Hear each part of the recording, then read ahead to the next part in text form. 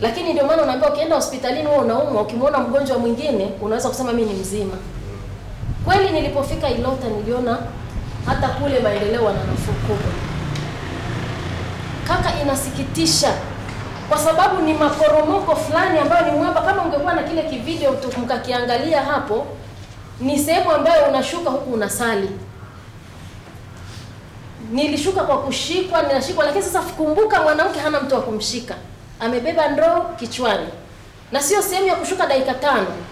Lakini nilipokuwa nahojiana na wale wamama kule chini, sasa korongoni, anakuambia kwamba wanatumia kupata ndoo tatu za maji anatumia masaa sita mpaka saba kwamba atoke kule chini kwenye hilo korongo na maji ayapandishe yale maji kileleni, ili afike achukue ndoo ya pili aipandishe ndoo ya tatu. Ni masaa sita, hakuna chini ya masaa sita.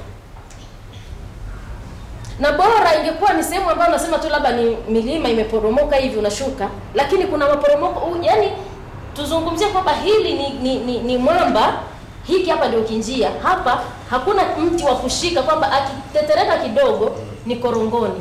Na hapo mahali wananiambia hapa sasa ndipo alipokufa huyo mama, alikuwa anapandisha na ndoo ya maji, akateleza akaanguka, na hawakuweza kumpandisha, walimzika kule chini korongo.